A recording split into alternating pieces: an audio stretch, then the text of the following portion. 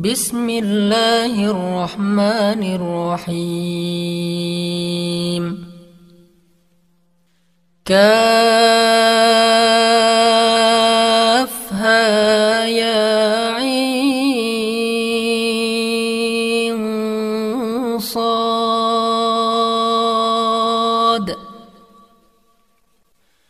ذكر رحمة ربك عبده زكريا. إذ نادى ربه نداء خ-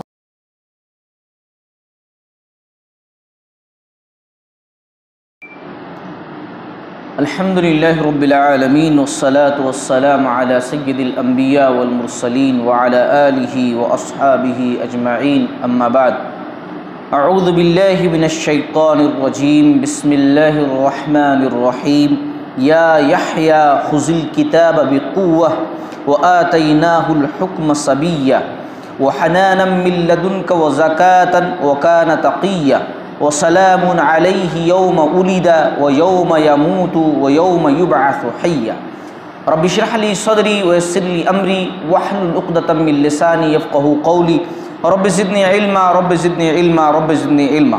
محترم حضرات تذکرہ چل رہا تھا حضرت زکریہ علیہ السلام اور ان کے بیٹے حضرت یحییٰ علیہ السلاۃ والسلام کا، جس کا پہلا حصہ میں نے بیان کر دیا ہے۔ بات یہاں تک پہنچی تھی کہ حضرت زکریہ علیہ السلاۃ والسلام جو اللہ کے نبی تھے اور مریم علیہ السلاۃ والسلام جو عیسیٰ علیہ السلاۃ والسلام کی والدہ محترمہ تھیں ان کے جو ہے پرورش، ان کی دیکھ ریکھ، ان کی تربیت ذمہ دار تھے، رشتہ دار تھے۔ تو عمر کا کافی حصہ حصہ گزر جانے کے بعد بھی اولاد کی کمی محسوس ہوتی تھی۔ لیکن ایک مرتبہ جا کر کے جب ان کے کمرے میں مریم علیہ السلام کے زکریہ علیہ السلاۃ والسلام نے غیر موسمی پھل دیکھے، فروٹ دیکھے، کھانے پینے کی چیزیں دیکھیں تو سوال کیا یہ کون لا کر دیا بیٹے؟ تو انہوں نے کہا کہ یہ دراصل اللہ رب العالمین کی طرف سے۔ زکریہ علیہ السلاۃ والسلام کو بات سمجھ میں آئی کہ وہ اللہ رب العالمین جو بغیر موسم کے پھل دے سکتا ہے، مجھے اولاد سے کیوں نہیں نواز سکتا ہے؟ چنانچہ اللہ تعالیٰ سے دعا کی، اللہ رب العالمین نے دعا قبول کی اور اللہ رب العالمین نے یہ نشانی مقرر کی کہ آپ بغیر کسی مرض کے تین دن اور تین رات تک جو ہے لوگوں سے بات نہیں کر سکتے ہیں سوائے اشارے کے۔ اس کے بعد آپ کے یہاں جو ہے حمل ٹھہر جائے گا اور پھر اس کے بعد حمل کی مدت گزرنے کے بعد جو ہے ایک بچے کی ولادت ہوگی، جس کا نام ہم نے یحییٰ رکھا ہے، جو بڑا نیک ہوگا، متقی ہوگا، پارسا ہوگا، بڑا صالح ہوگا اور نبی ہوگا۔ اللہ رب العالمین نے یہ خوشخبری دی۔ یہاں تک بات جو ہے گزر چکی تھی، ہو چکی تھی۔ اب بات کو ہم آگے بڑھاتے ہیں۔ بہرحال اللہ تبارک و تعالی نے زکریہ علیہ السلاۃ والسلام کی دعا کو قبول کیا اور یحییٰ علیہ السلاۃ والسلام کی ولادت۔ ہوئی یحییٰ علیہ السلاۃ والسلام کی ولادت ہونے کے بعد اللہ رب العالمین نے یحییٰ علیہ السلاۃ والسلام کو کتاب کا علم دیا۔ کون سی کتاب؟ تورات۔ تورات یہ اس وقت جو ہے، اس دور کے لوگ پڑھتے تھے، تمام لوگ اور انبیاء بھی تورات سے ہی فیصلے کرتے تھے۔ کوئی معاملہ آ جاتا تھا، کوئی بات آ جاتی تھی، تو تورات سے جو ہے فیصلے کرتے تھے۔ تو اللہ تبارک و تعالیٰ نے یحییٰ علیہ السلاۃ والسلام کو خصوصی طور سے کتاب کا علم دیا۔ علم دیا۔ اور اللہ تعالیٰ نے قرآن میں اس بات کا تذکرہ کرتے ہوئے فرمایا سورہ مریم کے اندر، یا یحییٰ خزل کتاب بقوہ۔ اے یحییٰ کتاب کو مضبوطی سے پکڑ لو، مضبوطی سے تھام لو۔ مضبوطی سے پکڑنے کا مطلب یہ ہے کہ اللہ تبارک و تعالیٰ نے یحییٰ علیہ السلاۃ والسلام سے کہا کہ تم شوق سے، رغبت سے اس کو یاد کرو، اس کو پڑھو، اس کو سمجھو۔ اور اللہ نے کہا وہ آتیناہ الحکم صبیہ اور ہم نے بچپن میں ہی یحییٰ علیہ السلام کو سمجھداری جو ہے عطا فرما دی تھی۔ صبیہ بچپن میں ہی۔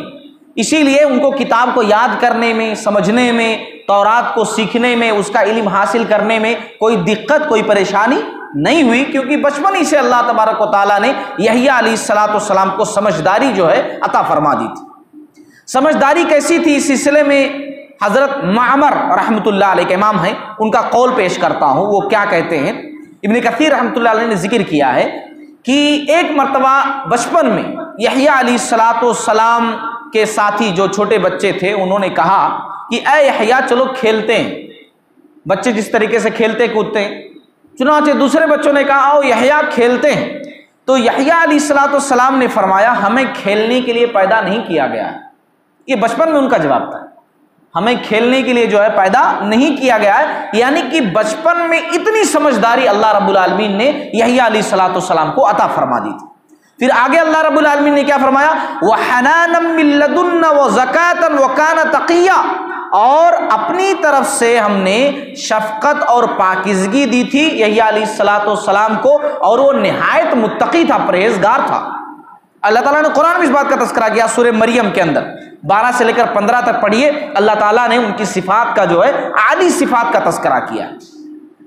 تو اس کا مطلب کیا ہے کہ اللہ تعالیٰ نے شفقت عطا کی تھی، پاکیزگی عطا کی تھی، بہت زیادہ متقی اللہ نے بنایا تھا۔ تو اس کا مطلب یہ ہے کہ یہی علی سلاۃ السلام سب کے ساتھ بڑے ہی رحم دل تھے، نرم دل تھے۔ اور اپنے والدین کے ساتھ تو بہت زیادہ نرم دل تھے۔ بہت زیادہ جو ہے، شفقت والا معاملہ کرتے تھے اپنے والدین کے ساتھ، حسن سلوک کرتے تھے۔ یہاں تک کہ متقی کی تفسیر جو ہے، مفسر قرآن حضرت عبداللہ بن عباس رضی اللہ تعالیٰ عنہ نے تفسیر ابن کثیر کے اندر یہ کیا ہے کہ وہ اتنے پرہیزگار تھے کہ گناہ کرنا تو دور کی بات، کبھی کبھی بھی انہوں نے گناہ کے بارے میں سوچا بھی نہیں۔ گناہ کرنا تو دور کی بات، گناہ کے بارے میں کبھی خیال ہی نہیں کیا، کبھی سوچا ہی نہیں۔ یہی علی سلاۃ السلام نے اتنے متقی تھے، اتنے پرہیزگار تھے۔ یہی علی سلاۃ السلام اللہ تبارک و تعالیٰ نے ان کے تعلق سے یہ بھی کہا، وہ سلام علیہ یوم الیدا وہ یوم یموت، وہ یوم حیا. اور اس پر سلام ہے۔ جس دن وہ پیدا ہوا، جس دن وہ مرے گا، اور جس دن دوبارہ زندہ کر کے اٹھایا جائے گا۔ بسا اوقات بعض لوگ جو ہے قرآن مجید کی آیتوں کی تفسیر، اس کا مطلب اس کا معنی اپنے جو ہے فیور میں کرنے کے لیے منمانی کرتے ہیں۔ اب دیکھیے نا، اس میں اللہ تعالیٰ نے کہا کہ یہی علیہ السلام پر سلام ہو، جس دن وہ پیدا ہوا، جس دن وہ مرے گا اور جس دن دوبارہ زندہ کر کے اٹھایا جائے گا۔ اس کا مطلب بعض لوگوں نے آج کے دور میں یہ سمجھ لیا کہ اللہ تعالیٰ نے یہی علیہ السلاۃ والسلام کا برتھ ڈے منایا۔ کہ جس دن وہ پیدا ہوا، اس دن سلامتی یعنی دعا دی۔ اللہ تعالیٰ نے سمجھ لو کہ اب ختم عید میلاد النبی کا ثبوت اس سے مل گیا۔ حالانکہ اس سے کوئی پتہ نہیں چلتا ہے۔ یعنی, یعنی کوئی کنیکشن ہی نہیں ہے دونوں باتوں کا۔ لیکن زبردستی جو ہے، ایسی آیتوں کا مطلب خود ہی نکال کر کے خود ہی فٹ کر لیتے۔ کوئی کنیکشن ہی نہیں دونوں باتوں میں۔ اللہ تعالیٰ نے وہاں یہ بات کہی ہے، خوشخبری دیتے ہوئے اور احسان عظیم کرتے ہوئے یہی علیہ السلاۃ والسلام پر کہ سلامتی ہے، رحمت ہے سیفٹی ہے۔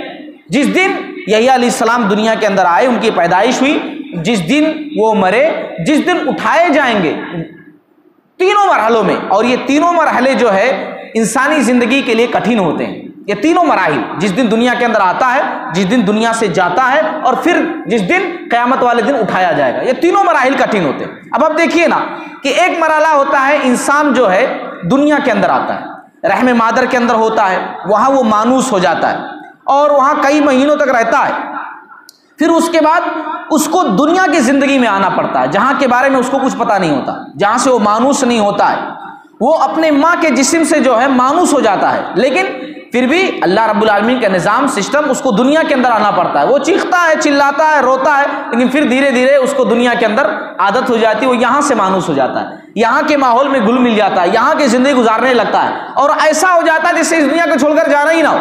یہیں بس یہیں رہنا سہنا سب کچھ یہیں بنا لیتا ہے۔ لیکن ایک وقت ایسا آتا ہے، بن بلائے مہمان کی طرح موت آتی ہے اور اس کو اپنے ساتھ لے کر کے چلی جاتی ہے۔ پھر اب وہ دنیا کی زندگی کو بھی ترک کر دیتا ہے۔ اور جب اس کی وفات ہونے لگتی ہے تو وہ ایسے فرشتوں کو دیکھتا ہے کہ اس سے پہلے کبھی دیکھا ہی نہیں تھا۔ اگر اچھا ہے تو اچھی شکل میں، برا ہے تو بری شکل میں۔ پھر وہ قبر کے اندر پہنچ جاتا ہے، پھر وہاں کی اس کی زندگی الگ۔ وہاں اگر دنیا کے اندر اچھے کام کر کے گیا ہے تو وہ برزخی زندگی جو آخرت اور دنیا کے بیچ میں ہے، قبر والی زندگی، وہ بہتر ہوتی ہے اگر اچھا کر کے گیا۔ اور اگر برا کر کے گیا تو برا ہی برا۔ جہنم کا ایک ٹکڑا بنا دیا جاتا ہے قبر کے حصے کو۔ برا ہی برا ہوتا ہے۔ اور پھر ایک دن ایسا آئے گا، تیرا تیسرا مرحلہ، کہ جب اس کو قبر سے اٹھایا جائے گا۔ قبر سے جب اس کو اٹھایا جائے گا تو پھر وہ اپنے آپ کو میدان محشر میں پائے گا۔ اس کو میدان محشر لے جایا جائے گا، جہاں حساب و کتاب ہوگا۔ وہ الگ ایک دنیا ہوگی۔ الگ ایک نظام ہوگا جہاں ساری دنیا کے مخلوق ساری دنیا کے لوگ ساری دنیا کے انسان اکٹھا ہوں گے، آدم علیہ السلام سے لے کر کے قیامت تک سارے لوگ اکٹھا ہوں گے۔ حساب کتاب لیا جائے گا، وہ الگ ماحول ہوگا، نفسی نفسی کا عالم ہوگا، پریشانی ہی پریشانی ہوگی۔ ہم اچھے طریقے سے جانتے ہیں۔ اور یہ تینوں مراحل تینوں مراحل جو مشکل کن ہوتے ہیں انسان کے لیے، اللہ رب العالمین نے یحییٰ علیہ السلاۃ والسلام کو یہ اعجاز بخشا۔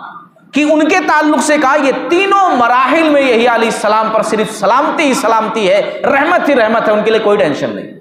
یہ اعجاز اللہ رب العالمین کا یہی علیہ السلاۃ والسلام۔ اس لیے اللہ نے کہا، وہ سلام علیہ یوم الیدا وہ یوم یموت، وہ یوم حیا۔ سلامتی ہے ان پر، جس دن وہ پیدا ہوئے، جس دن وہ مرے، اور جس دن وہ دوبارہ اٹھائے جائیں گے۔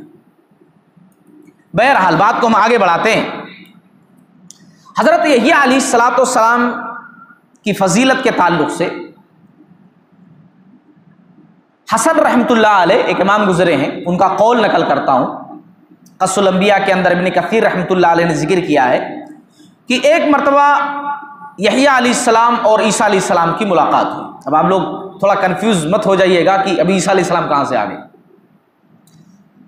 ابھی ہم جب عیسیٰ علیہ السلام کا تذکرہ کریں گے تو ان کی ان کے واقعات، ان کی زندگی کے بارے میں تفصیل پورا شروع سے بیان کریں گے، لیکن اتنا میں بیان کر دوں کہ چونکہ اس واقعے کے شروع سے ہی آپ لوگوں کو اندازہ ہو گیا ہوگا کہ عیسیٰ علیہ السلام اور یہی علیہ السلام کا مسکن جو ہے، ایک ہی ہے۔ قریب قریب ایک ہی ہے، وہیں رہتے ہیں۔ یہی علیہ السلام عیسیٰ علیہ السلام سے چھ ماہ بڑے تھے۔ یہی علیہ السلام جو ہے، عیسیٰ علیہ السلام سے چھ ماہ جو ہے، بڑے تھے۔ اور عیسیٰ علیہ السلام کی والدہ محترمہ کی دیکھ ریکھ، ان کی تربیت یہی علیہ السلام کے والد صاحب نے کی تھی۔ اور آپس میں جو ہے خالہ زاد بھائی بھی تھے۔ تو اکثر و بیشتر جو ہے ساتھ ساتھ رہتے تھے۔ تو یہ ساتھ ساتھ کا واقعہ ہے۔ یحییٰ علیہ السلام اور عیسیٰ علیہ السلاۃ والسلام کی ملاقات ہوئی تو حضرت عیسیٰ علیہ السلام نے انہیں فرمایا، میرے لیے مغفرت کی دعا کیجیے کیونکہ آپ مجھ سے افضل ہیں۔ اے یحییٰ، اے بھائی صاحب، میرے واسطے دعا کیجیے۔ کیونکہ آپ مجھ سے افضل ہیں۔ یہی علیہ السلام نے فرمایا کہ نہیں نہیں، آپ میرے واسطے دعا کیجیے آپ مجھ سے افضل ہیں۔ عیسیٰ علیہ السلام نے فرمایا، آپ مجھ سے افضل ہیں۔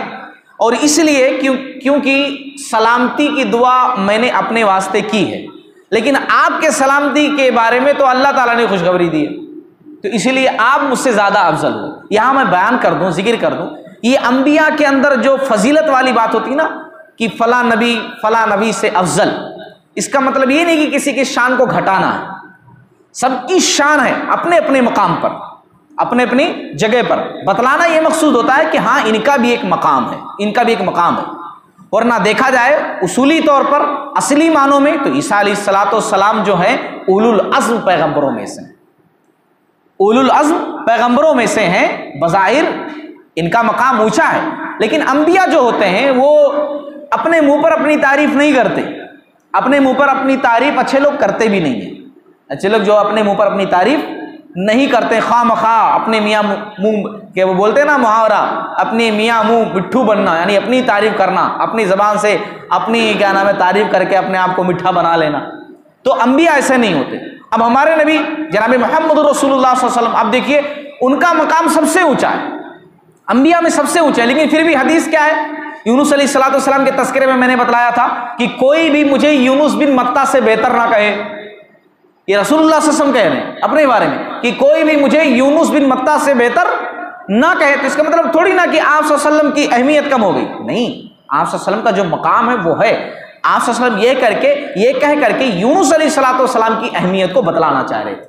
ان کی فضیلت کو بھی بتلانا چاہ رہے تھے۔ بہرحال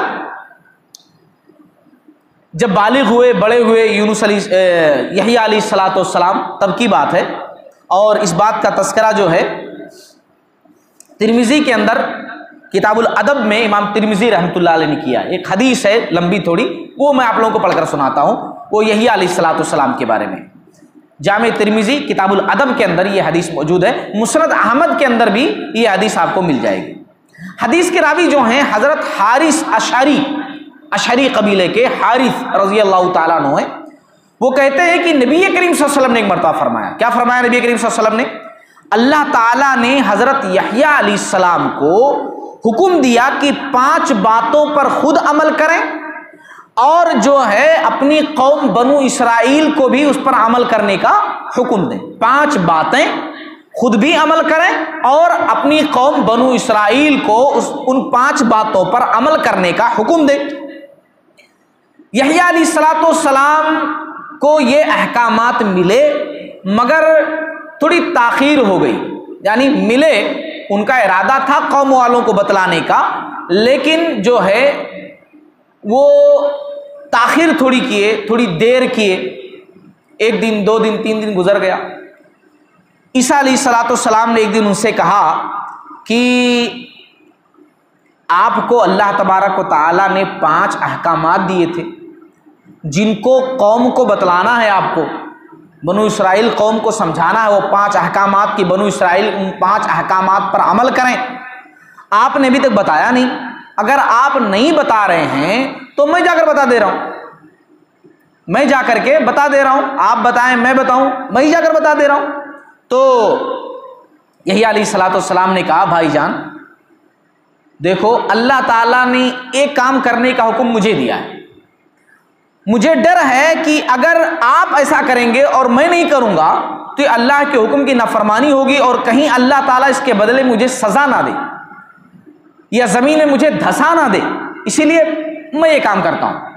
میں جو ہے یہ کام کرتا ہوں، وہ احکامات جا کر کے میں بتلاتا ہوں۔ چنانچہ یہی علیہ السلاۃ والسلام بنو اسرائیل کو حکم دیے کہ تمام لوگ جو ہے بیت المقدس میں مسجد اقسا میں اکٹھا ہو جاؤ۔ تمام لوگ جو ہے بیت المقدس کے پاس اکٹھا ہو گئے، مسجد اقسا کے پاس۔ اور اپنا جو ہے یہی علیہ السلام اونچی جگہ پر ٹھہرے، اللہ تعالیٰ کی تعریف کی اور اللہ تعالیٰ کی تعریف کرنے کے بعد فرمایا، اللہ نے مجھے پانچ باتوں پر عمل کرنے کا حکم دیا ہے اور یہ بھی کہا ہے کہ وہی پانچ باتیں میں آپ لوگوں کو بھی سمجھا دوں۔ اب وہ پانچ باتیں کیا تھیں؟ ایک ایک کر کے میں آپ لوگوں کو بتاتا ہوں۔ پہلی بات تو یہ، انہوں نے کہا، اللہ کی عبادت کرو، اس کے ساتھ کسی کو شریک نہ کرو۔ دعوت کا، سمجھانے کا پہلا مرحلہ یہی ہوتا ہے کہ عقیدے کو مضبوط کیا جائے۔ انسان کا عقیدہ جو ہے مضبوط ہے، تب اس کے دیگر اعمال قابل قبول ہیں۔ اور عقیدہ اگر صحیح نہیں ہے، تو اس کا عمل قابل قبول نہیں ہے۔ کوئی آدمی ایسا ہے، اس کا عقیدہ صحیح نہیں ہے۔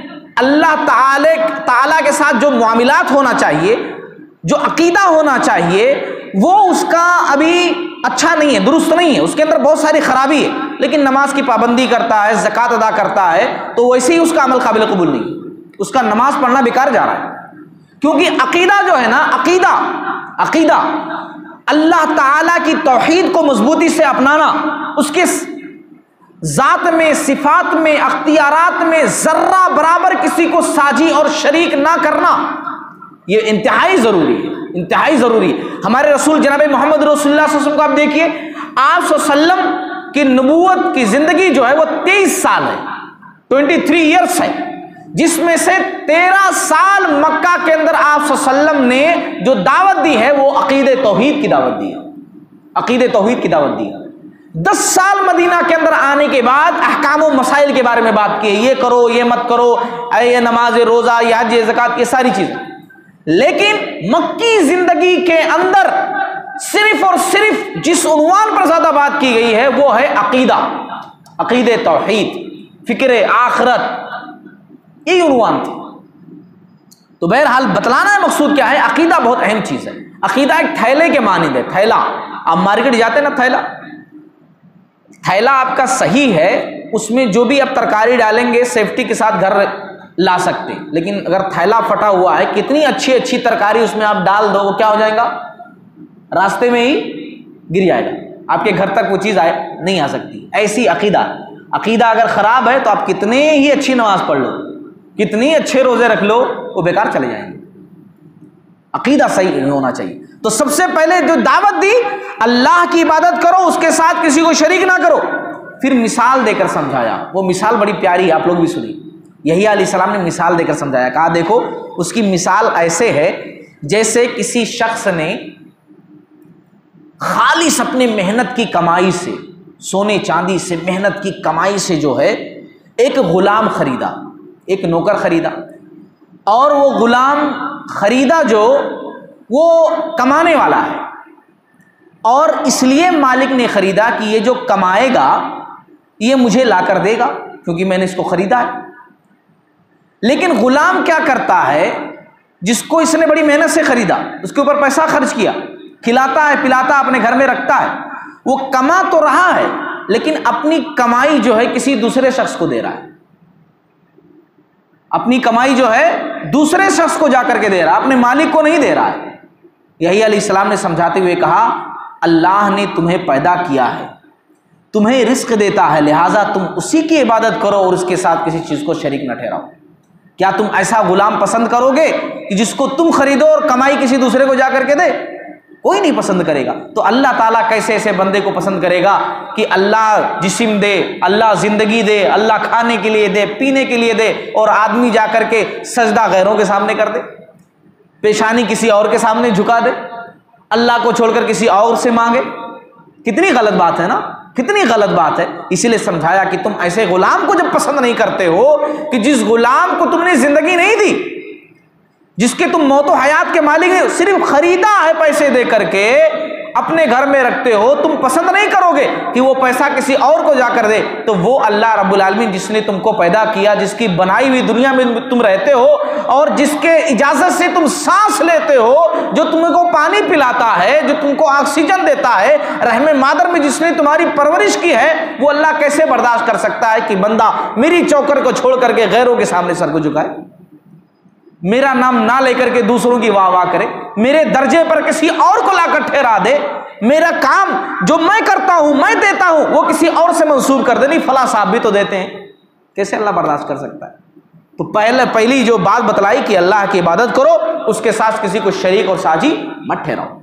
دوسری بات کیا ہے؟ اچھا پہلی بات کے اندر ایک بات اور بھی ہے کہ آج ہم لوگ ایسے ہی کرتے ہیں نا سیم جو انہوں نے کہا کہ غلام ایسا جو آقا کو پیسہ نہ دے کر دوسروں کے ہمارا بھی معاملہ اکثر مسلمانوں کا ایسا ہی ہے۔ بکرے اللہ تعالیٰ دیا ہے، مگر ذبح کسی اور کے نام سے کر دیتے ہیں۔ غیر اللہ کے نام پر۔ ہے نہیں؟ غیر اللہ کو خوش کرنے کے لیے۔ پیشانی اللہ نے دی ہے، جھکا کہیں اور دیتے ہیں۔ سجدہ کہیں اور کر لیتے ہیں۔ ایسے معاملات، بچو ایسی چیزوں سے۔ ورنہ آپ کے نماز، روزے سب خراب ہو جائیں گے۔ کسی کام میں نہیں آئیں گے عقیدہ غلط ہے تو۔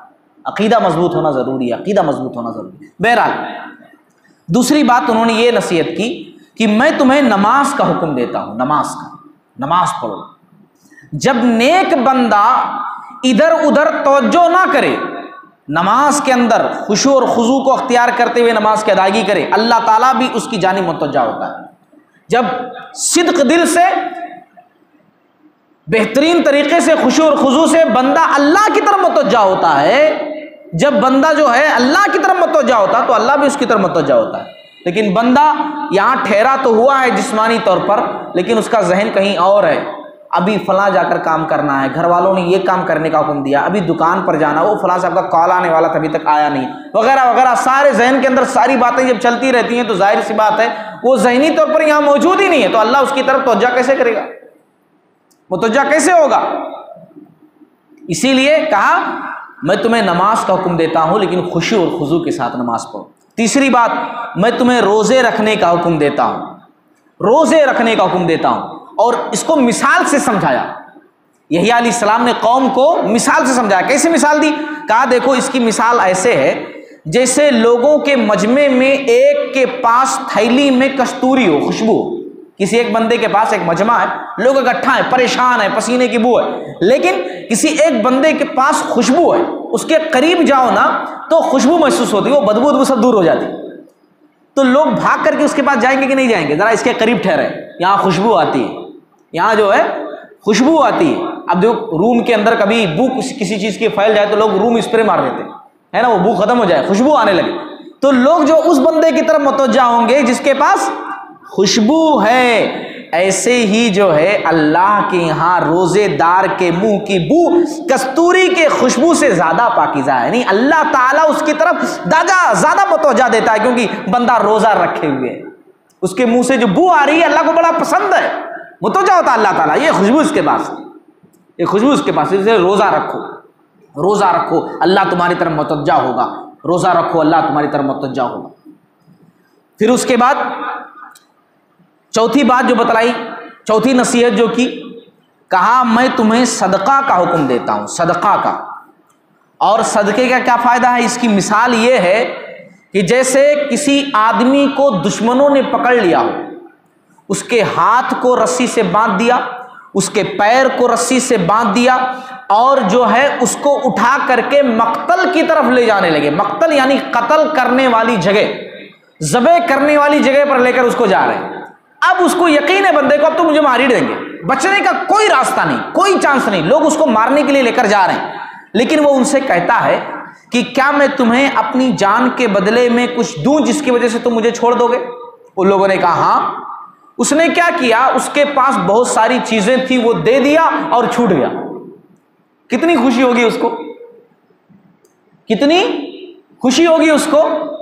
ابھی واٹس ایپ پر جو ہے ایک ویڈیو آئی تھی دیکھیے ابھی حال حال میں اسی ہفتے کی ہے، کہ کسی جگہ جو ہے، غالباً باہر ہی کا ہے، کہ دو جو ہے گاڑی والے ٹکرا گئے آپس میں۔ جب گاڑی والے ٹکرا گئے تو ہمارے پاس کیا ہوتا، ہم لوگ لڑنے لگتے، تو کہیں ادھر سے آیا، میں ادھر سے آیا، گربانہ پکڑ لیتے، گالی گلوچ شروع ہو جاتی۔ لیکن دونوں لڑ نہیں رہے ہیں، بلکہ بازو میں جا کر کے دو رکعت نماز پڑھ رہے ہیں۔ دو رکعت نماز اس لیے پڑھ رہے ہیں کہ گاڑی ٹکرائی ٹھیک، لیکن ہم لوگ سیف رہے، اللہ تعالیٰ شکریہ۔ ہم لوگ سیف رہے، ہم لوگوں کو کچھ نہیں ہوا۔ بھلے ہی گاڑی تھوڑی خراب ہوئی، سامنے ایک ایسا ٹوٹا پھوٹا، ٹکرا گئی، کس کی بھی غلطی ہو۔ لیکن ہم لوگوں کو کچھ نہیں ہوا، ہم لوگ سیف ہیں، اللہ تو نے بچا لیا، اللہ تعالیٰ شکریہ۔ دونوں لڑنے کے بجائے نماز پڑھ رہے ہیں بازو میں جا کر کے۔ ایسا بھی دیکھنے میں نظر آتا ہے۔ تو اب یہ بندہ جس کو بالکل قتل کرنے والے تھے، یہ اس کے پاس کچھ چیزیں تھیں، دے کر کے چھوٹ گیا۔ بڑی خوشی ہوگی نا؟ تو دراصل سمجھانا اس سے کیا ہے؟ کہ صدقہ وہی چیز ہے کہ جو ہم کو جہنم کی آگ سے چھڑا سکتا ہے۔ جہنم کی آگ سے چھڑا سکتا ہے۔ اگر ہم جہنم میں جانے والے ہیں ہمارے پاس صدقے والا ثواب ہے، صدقے والا ثواب ہے، تو اس کے بدلے میں اللہ تعالیٰ ہم کو چھوڑ دے گا۔ ارے، اس نے تو اتنا سارا جمع کر دیا ہے نا۔ اس کے پاس یہ چیزیں ہیں۔ اسی لیے تو اللہ رب العالمین نے قرآن مجید کے اندر کہا کہ تم جو ہے، کون ہے جو یہاں پر جمع کرے یہاں پر جمع کرے تو جو لوگ اللہ رب العالمین کے پاس جمع کرتے ہیں، صدقہ کرتے ہیں، خیرات کرتے ہیں، لوگوں پر خرچ کرتے ہیں، وہ مال جمع ہوتا ہے اللہ تعالیٰ کے پاس۔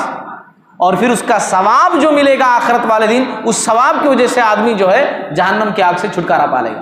اور نبی رحمت صلی اللہ علیہ وسلم نے یہی بات کہی۔ آپ صلی اللہ علیہ وسلم نے کیا کہا؟ آپ صلی اللہ علیہ وسلم نے حدیث کے اندر کہا، تم اپنے آپ کو جہنم کی آگ سے بچاؤ، چاہے کھجور کا ایک حصہ ہی دے کر کیوں نہ ہو۔ ایک کھجور ہی دے کر کے اپنے آپ کو جہنم کی آگ سے بچا لو، مگر بچا لو۔ یہ اللہ کے نبی صلی اللہ علیہ وسلم نے کہا۔ صدق و خیرات کی یہ اہمیت ہے، یہ فضیلت ہے۔ بہرحال، پانچویں نصیحت کیا کی؟ پانچویں نصیحت یہ کی کہ میں تمہیں اللہ کا ذکر کثرت سے کرنے کا حکم دیتا ہوں۔ خوب اللہ کا ذکر کرو۔ خوب اللہ کا ذکر کرو۔ خوب اللہ کا ذکر کرو۔ اس کی مثال ایسے ہے جیسے ایک آدمی کے دشمن تیزی سے اس کا پیچھا کر رہے ہوں۔ تیزی سے۔